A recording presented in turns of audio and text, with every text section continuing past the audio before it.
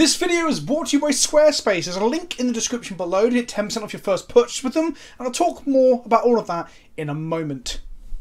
Right, it's time for another tier list because I am a YouTuber. I was I've written that I was going to say I'm a YouTuber and dab into the camera, but I felt incredibly self-conscious as I went to do it, which is unusual for me. Today I'm talking about rare land cycles, and I'm going to do a tier list of said rare land cycles. Let's clarify some terminology here, shall we? A rare land is a land that is rare. That one's kind of obvious. A cycle is a set of cards that are thematically or mechanically linked and will often have one in each colour or colour pairing or guild or wedge or whatever. For example, this is the command cycle, where there is a command in each colour in Lorwyn. This is a tier list, so we have tiers, they look like this, and I'll place each cycle into a tier, ranking them um, on their power level, how good they are in Commander, Cube, and competitive formats, and just how I feel about them, how cool they are. It's basically the science of opinion.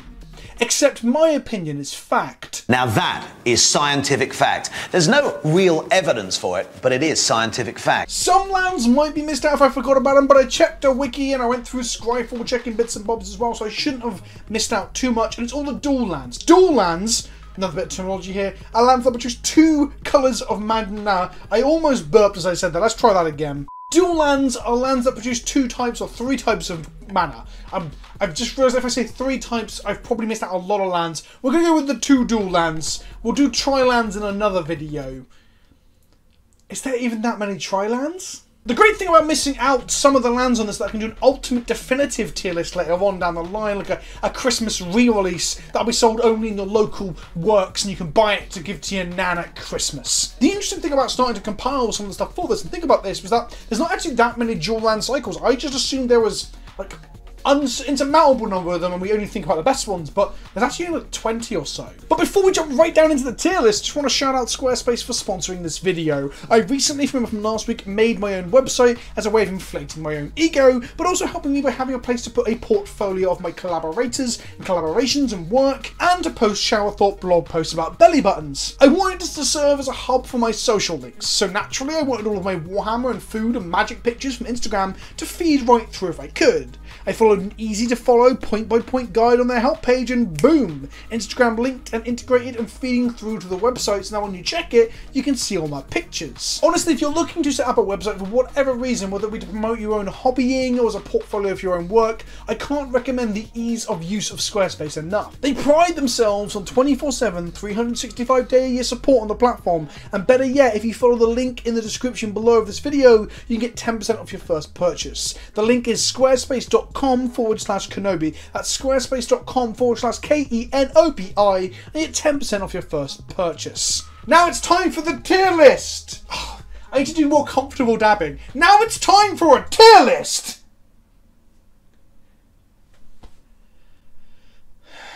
So as you can see, I've got some tiers. I've got S tier, A tier, B, C, and D. D standing for dog shit. S are the iconic the all-time greats, the most powerful, the best of all the dual lands. Whilst dogshit is limited fodder crap that I would not put in my commander deck. We're going to go through them with whatever order they put them into this little box down here. So we're going to start with Sheltered Thicket, which is part of the Cycling lands from Amonkhet. They are ETB tapped lands that have Cycle 2, so for 2 mana you can draw a card by discarding them, but most importantly, they have land types on them. In this case, Sheltered Thicket has mountain and forest, which means they're fetchable off of fetch lands, which we'll come to in a moment. So, I'm going to put Sheltered Thicket and this cycle in the A tier. They are borderline B tier, because a lot of them don't see any play at all across competitive formats, but I really like them for Commander, and also Sheltered Thicket in particular has seen play in Legacy in the lands deck as a fetchable red-green source that you can get on any step that's tapped. It's also a cyclable land to uh, redredge off loam, so it's seen some play in loam decks. Fetchable types, utility when you flood,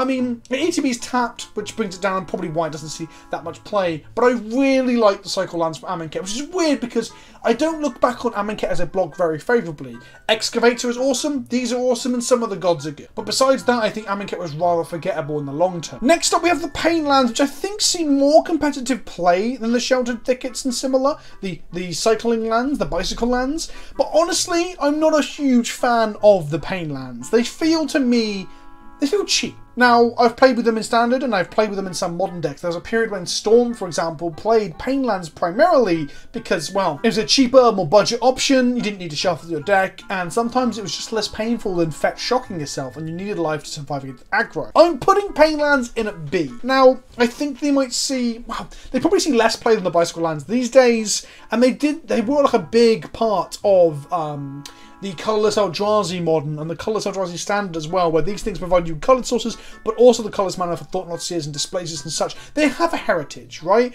But I'm putting them at B tier. They feel like cheap versions of Shocklands. And the other thing that bugs me about these things is that they have very specific names. Yavimaya Coast. So they can only ever get reprinted either in core sets or sets that take place on Dominaria, where Sheltered Thicket and the like can be reprinted anywhere.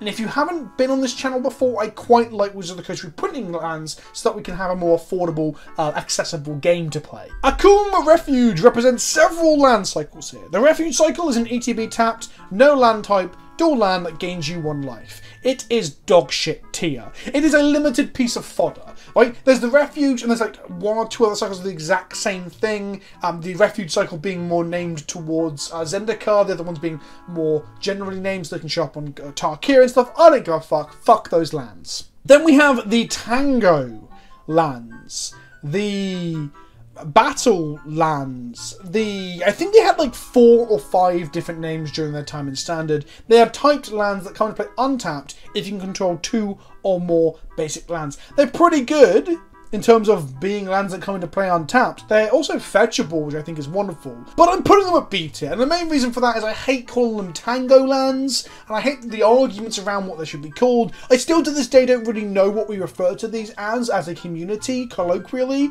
and that bugs me. So fuck you, Prairie Stream and the like. Rejuvenating Springs a Battlebond land. Now, oh, is this an S tier? I think this is an S tier. Look, it doesn't see any play outside of Commander. I get it because it's it cares about multiplayer. But the the Battlebond lands and then the uh, Commander 2020 lands, I think it was, no, Commander Legends lands. The, the, the whole cycle was spread across two uh, sets.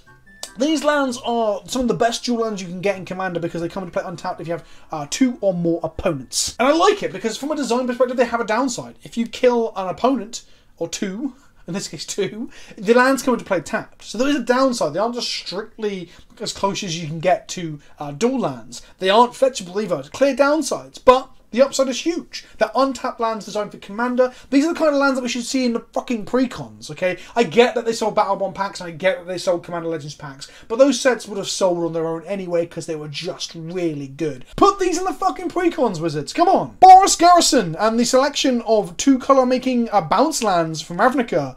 Uh, they make up a modern deck, okay? There's modern decks like Amulet that have used these to great effect, and I think they have their place in Commander.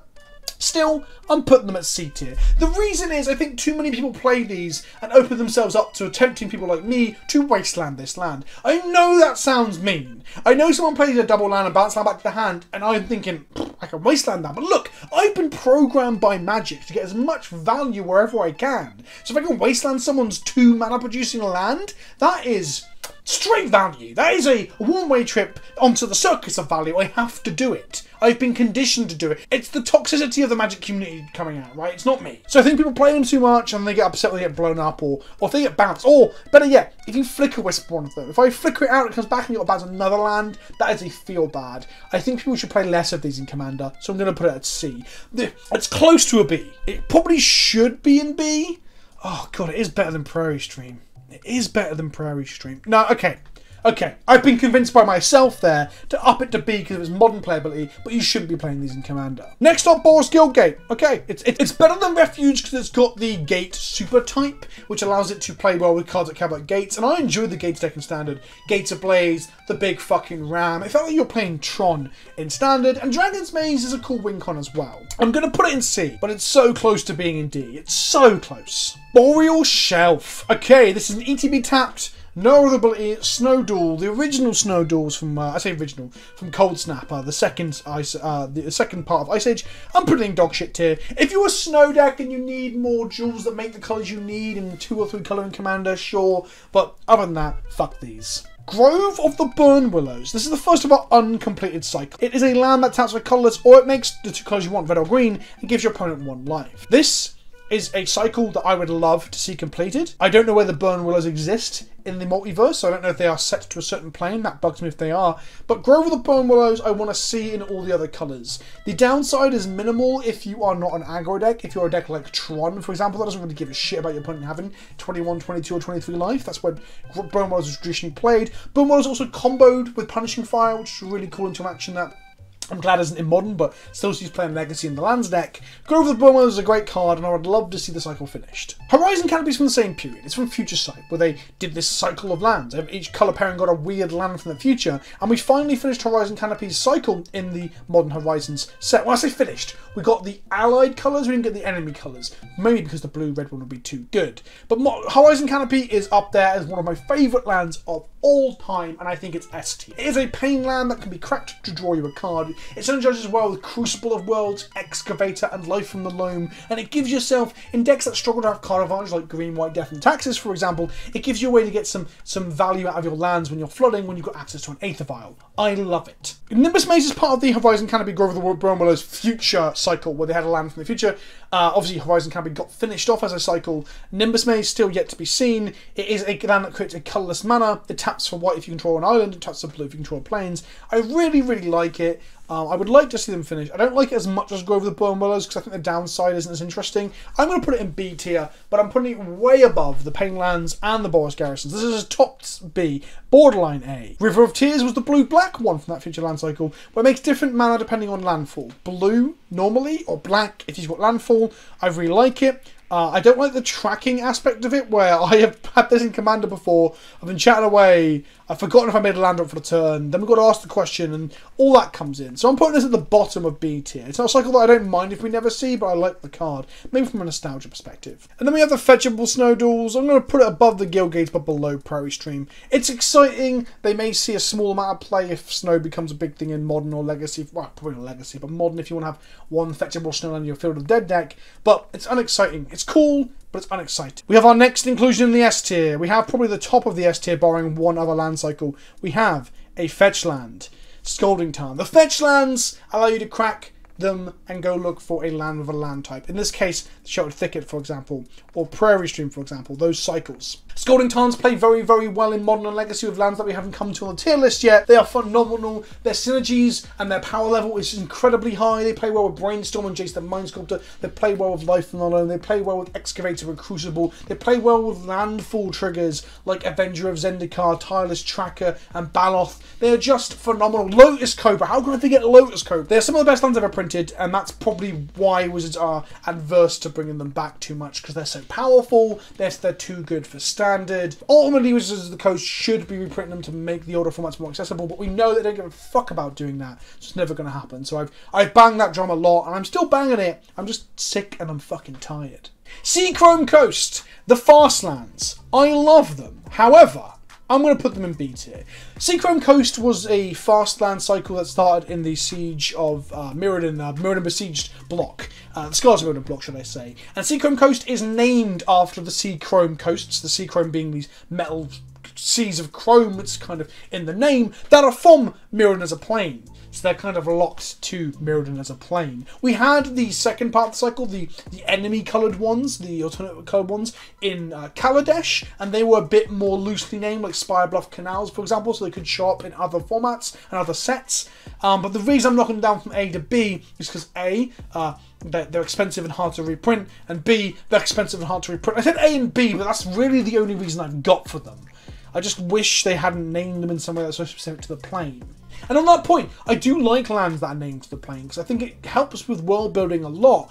But we are living in a world where the game is prohibitively expensive for other people to play because lands get expensive. So not seeing the correct reprints in supplemental sets like commander decks or, or, or ultimate sets and stuff and master sets is a shame.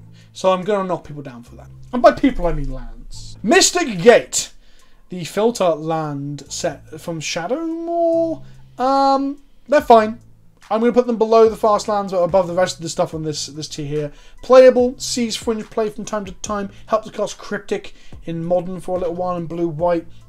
Perfectly reasonable, um, just not that exciting. The Fortified Village land cycle, the land cycle of the Reveal lands from Shadows of Innistrad. I'm putting them below Prairie Stream here in the C tier. I'm not a big fan of these lands in Commander at all. I don't like lands that make your future turns worse. On the upside with the Garrison and the other like ETB, bounce a land back to your hand, they help you make a land up later. So the bounce lands are great and limited for making you hit your land drops later. What Fortified Village does, it comes into play tapped unless you reveal land from your hand. So if you've got a follow-up land on the following turn, then it's good now. If you don't have a follow-up land, it's even worse now, making low land count hands even worse to keep. So I'm not a big fan of it. I've stupidly put of Urge Thicket in here because I saved two copies of Seachrome Coast. Just gonna leave that down there. It's the same cycle as Seachrome. We come to Steam Vents. Another S tier. Up it goes into S tier. This is the modern mana base. Is fetch lands and shock lands and on rare occasion checks and pain and stuff, right? These things are phenomenal. They're doing an impression of the OG duals that we're getting to soon, uh, but they cost you two life to bring into play. What is there to say? They have land types, they enable all the sort of things. They're great in Cube, they're great in Commander. Your Commander deck should start with, if you own them, Fetch Land, Dual Land, Shock Land. That should be your beginning of your um, uh, mana base. I really can't labour enough how good these are, except they're not as good as Fetchlands. The Temples of Silence and so on, the Scrylands, I like them but I like them less than the fast lands, but more than the, the filter lands. The Scry is good. I remember when they were revealed as rare, and people were like losing their minds that they felt like the uncommon cycle, and they can't believe that they've been put at rare. And whilst I agree with them that rare lands should be shifted down in rarity so we can have the game become more accessible, the, the, the staples, the rare, powerful bombs can be expensive, but the mana bases, the chessboard upon which we play the game, should be cheaper. But it was funny because once we started playing with them, we we're like, shit, the Scry is really quite good. There was also talk of every two to three Scries counted as another card because the card quality of your draws and the lack of flooding or, or lack of mana screw was really evened out with them. So I really like temples, but not quite as much as the fast land. I also like that although they're temples to gods on Theros, they're named in such a way with Temple of Silence, Temple of Epiphany, Temple of Malady, that they could actually appear on most planes where gods or deities or worship would happen. That is good forward-thinking design. Skyshroud Forest is just a shit filter land that can make a colourless mana on its own, but so can the other ones, so I don't know what the fuck I'm talking about. They're just a bit shit. Skyshroud Forest is just a shit pain land that comes to play tapped. We're going to put you down uh, in front of the gates and in front of the stone lands, but behind the check uh, the reveal lands. Probably the most inconsistent of the cycles here, because some of them are godlike. For example, uh, Celestial Colonnade has been, the blue-white one has been incredible in constructed formats as a win condition for the blue-white control decks, and Creeping Tar Pit is a phenomenal card in Cube. And we've seen Jund make use of um, uh, the red-green uh, Raging Ravine and of the Hissing Quagmire. Meanwhile, Lavaclaw Reaches was one of the laughable ones of the cycle that includes the Box Toppers and Ultimate Masters. So this cycle of creature lands is really inconsistently good. I'm going to put them at the top of B, below the temples and below Seachrome Coast. Because I see play a little bit, but not every... I see a bit more play than these, right? This is played in ad nauseam in modern. Okay, above the Scrylands, below the Fastlands. We've got the OG dual land. I wanted to leave it to last, but here it is. Bang. You know what? Do you know what? At a row above, we're going to have God tier. God tier. And in God tier, we're going to have duals and fetches. OG duals are hands down the best lands we've ever seen. They're on the reserve list, so they're never reprinting them again. And part of their collectability of having so few of them in the wild, plus their playability in eternal formats, and being strictly the best land option in Commander has made them incredibly, incredibly expensive. Hundreds of dollars for duals at this point. Uh, if you look at Alpha and Beta ones, thousands of dollars for. They're, it's it's wild that they're so expensive and it pisses me off, but they are godlike. If you are playing in a Phantom environment like online, or if you're playing Cube, these are your go-to best bits of fixing, and they don't shock you again when you bounce them back to Hammer Days and stuff. They're so, so good. I can't labour it enough. So, I'm going to make a new tier for duals and for fetches. Because whilst fetches aren't as good at fixing as duals, I do think an entire format where dual lands aren't available, but, but just fetches are and those shocks, you can still have quite a good mana base with fetch lands. And fetch lands have, have all the extra utility and uh, versatility to them as well. Where OG duels, they just fix your mana perfectly, whilst having the downside of being blown up by Wasteland and Legacy. It's a really nice back and forth of power level and design restriction. Another copy of Underground Sea there, where I can decide which, which borders to use, but I use the iconic one. We then have check lands that check on land types, uh, so they play well with shock lands and dual lands that have types. We're going to put check lands in the top...